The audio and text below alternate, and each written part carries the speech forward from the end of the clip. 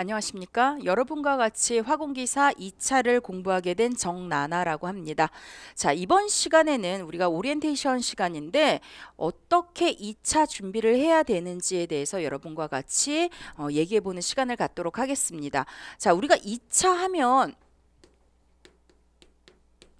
1차를 일단 관문을 통과하셨어요. 그렇기 때문에 그 1차 과목들이 베이스가 돼서 2차를 준비하시면 되는데 우리가 1차 때 좀 어렵다라는 말을 많이 하시잖아요.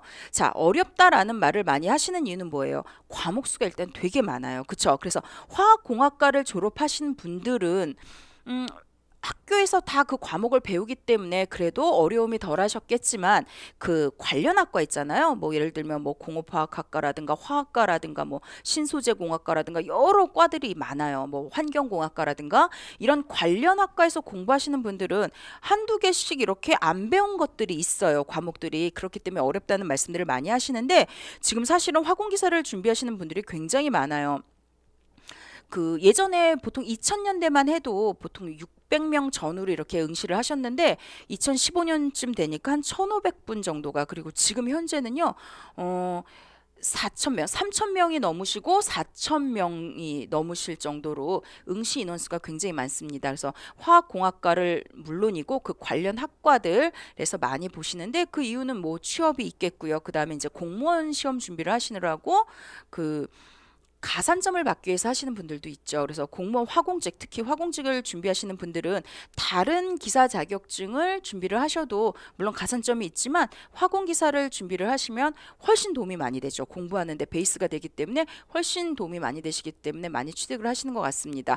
취업을 하시는 분들도 요즘에 스펙을 하나씩 계속 더 쌓아가야 되기 때문에 여러분들이 보통 뭐 석유화학, 뭐 아니면은 뭐 가스, 플라스틱, 화장품 이런 관련 업체들 이런 데 취업을 하시기 위해서 많이들 어, 따시는 것 같아요. 환경 쪽이나 뭐 다른 거 기타 화학 분석까지도 다 화공기사가 포괄을 하고 있기 때문에 많이들 취득을 하시는 것 같습니다.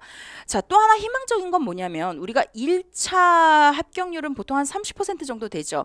그리고 2차 합격률 보시면 다른 타 기사는 사실 합격률이 그렇게 높지 않아요. 그런데 화공기사는 2차 합격률이 굉장히 높아요. 그 이유는 물론 워낙에 또 잘하시는 분들이 많이 응시를 하시는 것도 있겠지만 그 전략만 잘 세우신다면 오히려 2차가 훨씬 쉽기 때문에 우리가 2차 합격률이 어 다른 타 기사에 비해서 굉장히 높아요. 한 50% 정도 이상이 될 때도 있고 어 물론 전후기 겠지만 50% 정도 이렇게 보시면 될 것 같아요. 그 이유가 뭐냐면 자 먼저 1차는 우리가 몇 과목을 공부했어요?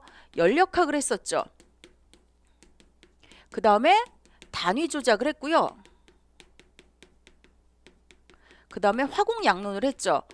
화공 양론하고 단위 조작을 한 과목으로다가 우리가 시험을 봤어요. 다른 과목인데 그쵸? 그 다음에 뭐가 있었냐면 음, 공정 제어가 있었고요. 그 다음에 공업화학이 있었어요. 공업화학도 사실은 두 과목이에요. 뭐예요? 유기, 무기 두 개예요. 그쵸? 그 다음에 반응공학 이렇게 있었어요. 그렇기 때문에 1차가 과목 수가 많아서 여러분들이 어렵다라는 평이 있지만 사실 실질적으로 합격률은 굉장히 높은 편이에요. 자, 그런데 2차에 오시면 과목 혹시 보신 적 있나요? 뭐라고 돼 있냐면 화학, 장치, 운전 및 화학 제품 제조 실무 이렇게 돼 있어요. 이걸 딱 보시면 어, 무슨 생각 들어요? 아, 큰일 났다. 왠지 어려울 것 같다. 그쵸?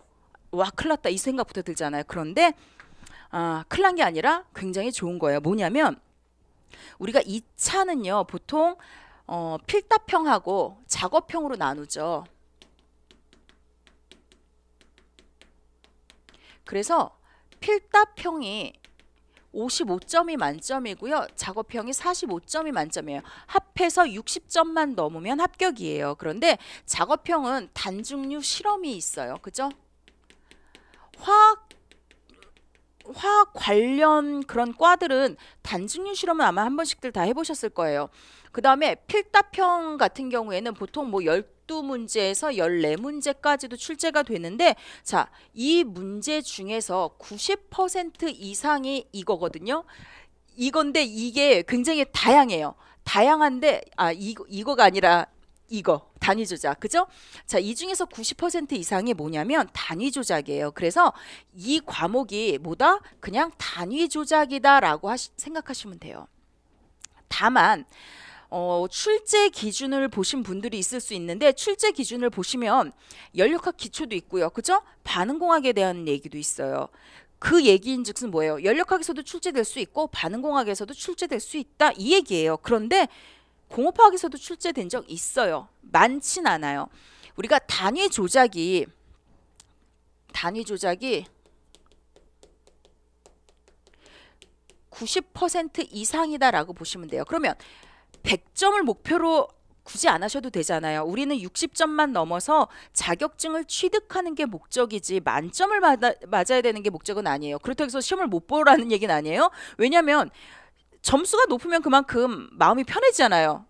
필답형에서 예를 들어서 내가 50점을 받아놨으면 작업형을 좀 못 봐도 상관이 없잖아요. 그렇죠? 그래서 잘 봐야죠. 잘 봐야 되지만 우리가 1차를 합격하고 나서 꼭 그 1차가 끝난 다음에 준비하시는 분들도 계시지만 합격자 발표를 꼭 보고 나서 2차 준비를 하시는 분들이 있어요. 그러면 시간이 사실 얼마 없어요. 그죠? 한 달, 한 달도 안 될 때도 있고, 한 달 남짓 될 때도 있고, 그렇기 때문에 우리가 전략을 잘 세워야 된다는 거예요. 자, 이거의 대부분 90% 이상이 단위 조작이라고 하면 우리가 55점 중에서 단위 조작만 공부해도 35점 이상은 받지 않을까요? 그죠? 35점 이상만 받으면 여기서도 35점 이상 예를 들면 뭐 한 38점? 사실 35점만큼 깎이지들도 않으세요. 실수를 안 한다면. 실수하면 물론 안 되지만 실수를 하지 않는다면 안 깎여요. 그러면 이것만 해도 70점이에요. 합격하죠? 그래서 우리가 간단하게 단위 조작만으로도 어, 합격을 할 수 있어요. 이것만 공부를 하셔도. 실질적으로 보시면 보통 12문제에서 14문제가 출제가 된다면 만약에 어 13문제라고 합시다. 13문제면 일단 12문제는 단위 조작이에요. 그죠? 한두 문제 정도가 다른 데서 나온다고 했는데 일단 기본적으로 반응공학하고 연력학 기초에서 나온다고 했어요. 나온 적 있어요. 뭐가 나왔냐면 얘는 엔트로피 변화를 계산하는 문제가 나온 적이 있었고요. 그 다음에 반응공학은 뭐가 나온 적 있었냐면 뭐 간단하게 우리가 1차 뭐 회분식 그다음에 PFR, CSTR 계산하는 거 어, 그다음에 공간 시간을 계산하는 거 이런 게 나온 적이 있어요. 이런 게 나온 적이 있고요. 사실은 얘는 안 나올 것 같잖아요. 그런데 얘도 나온 적이 있어요. 뭐가 나왔었냐면 옥탄가, 색탄가 이런 게 나온 적이 있어요. 공정제호는 뭐 특별하게 나온 건 없지만 어쨌거나 나올 수도 있겠죠. 그죠? 얘도 언급이 없었지만 나왔듯이 왜냐면 1차에서 베이스가 되어 있기 때문에 이 베이스를 기초로 우리가 2차가 준비가 되어지는 거라 이렇게들 출제가 되는데 매해 나오냐 그거는 아니에요. 어쩌다가 몇 년 만에 한 번이 나올 수도 있지만 우리가 시험을 볼 때 나올 수도 있는 문제죠. 그거는 그거는 모르지만 또 출제자가 갑자기 여기서 많이 출제를 할 수도 있겠죠. 여태까지 그런 적은 없지만 그런 적은 없지만 혹시 그럴 수도 있지만 어, 우리는 여태까지 상황으로 미루어 봐서 단위 조작을 위주로 공부를 해도 합격하는 데는 큰 지장은 없다라는 거죠. 다만 뭐가 들어가냐면 단위 조작에 첨가되는 게 있어요. 뭐가 첨가가 되냐면 공정 배관 개장도 공정 흐름도 공정 배관 개장도 얘네는 뭐냐면 도면 보는 거예요 도면 근데 요것도 그 정의 정도 여기에 수록되는 거 한 페이지면 끝나요 이것도 단위 조작 체계 우리 교재에 들어가 있고요 그 다음에 온도계 온도계에 뭐가 있냐면 뭐 열전대 온도계 이런 거 있잖아요. 그런 거 이것도 단위 조작 내에 들어가 있어요. 우리 교재에. 그러면 이 단위 조작만 보시면 책이 얇아요. 그쵸? 얇고 내용이 얼마 없지만 거기 그것만 잘 하시면 어때요? 90% 이상을 맞출 수 있다는 거예요.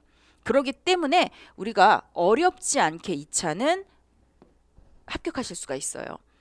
단 실수만 없으면 돼요. 그래서 기본적으로 기본 내용이 많지 않기 때문에 여러분들이 단위 조작 시간이 없으신 분들은 단위 조작을 공부를 하시고 여기까지 공부를 하시고 시간이 아 난 시간이 남아 괜찮아 하면 뭐 반응공학 연력학 공부하셔도 돼요. 그거는 자 그렇지만 일단 시간이 없으신 분들은 이거 위주로 하시면 될 것 같습니다. 그래서 어 얘를 한 뭐 35점 이상만 맞으시고 얘는 실수만 하지 않으면 30점대 후반은 맞거든요. 그러면 뭐 한 38점만 맞았다. 이러면 70점이 넘어가 버리잖아요. 그죠? 그럼 합격이죠. 그래서 이런 전략을 세우시면 돼요. 그런데 뭐 굳이 이거에 맞춰서 하실 필요는 없고 45점 맞으면 더 막 더 좋고 50점 맞으면 더 좋고 55점 맞으면 더 좋죠. 그러면은 얘를 조금 못 봐도 또 상관이 없고 또 마찬가지로 얘를 못 보신 분들은 실질적으로 한 30점 채 안 되는 분들도 합격하신 분들이 있어요. 한 30점 정도에 뭐 28점. 음. 실험을 잘 하신 분들. 자, 단증류 실험은 그러면 뭐예요? 단증류 실험은 이게 둥근 바닥 플라스크예요. 둥근 바닥 플라스크 여기에 에탄올 수용액을 넣고 증류를 하는 거죠. 우리가 증류, 단증류라는 게 뭐냐면 끓는 점차, 비점차를 이용해서 혼합물을 분리하는 거죠. 그래서 에탄올과 물을 분리하는 장치예요. 그래서 여기에 heating mantle에다가 에탄올 수용액을 이렇게 넣고 분리를 하죠. 얘가 온도계예요. 그림이 좀 그렇지만 그 다음에 여기에 냉각기가 있어요. 일로 물이 들어가서 일로 물이 나오죠. 그 다음에 얘를 유출물을 에탄올이 퍼센트 농도가 훨씬 많은 그러한 유출액을 얻게 됩니다. 자, 그랬을 때 실험을 하는 거잖아요. 이 실험 값하고 이론값이 있어요. 레일리식에 의해서 이론값이 있어요. 얘를 비교를 하는 거예요. 그런데 실험을 잘했으면 이론값하고 비슷할 거 아니에요. 그렇죠? 그런데 실험을 못하면 차이가 크겠죠. 그 차이를 뭐라 그래요? 우리가 오차라고 얘기를 하는데 이 오차가 너무 크면 안 돼요. 실험을 잘 못한 거니까. 그렇죠? 그래서 우리가 단중류 실험을 할 때는 기본적으로 인강을 보시면 몇 강 안 되지만 그것만 하시면 실수만 안 하면 돼요.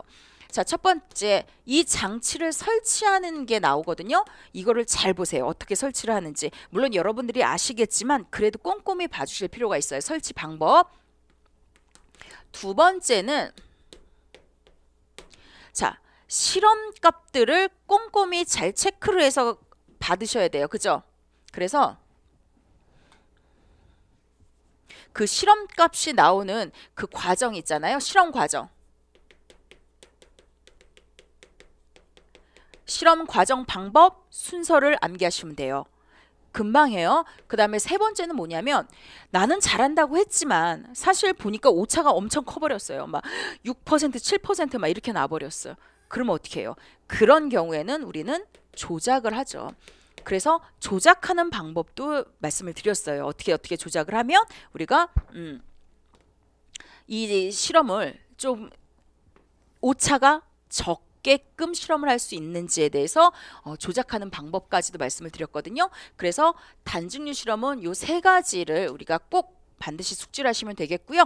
그 다음에 2차 필답형에 나오는 화학 장치 운전하고 그 다음에 화학 제품 제조 실무에서는 단위 조작 부분만 완벽하게 공부를 해도 괜찮다라는 거죠.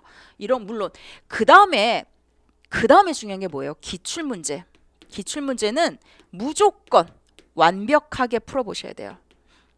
기출 문제. 2008년도 거부터 지금 것까지 쭉 계속 있어요. 그쵸? 그러니까는 근데 양이 굉장히 많을 것 같죠?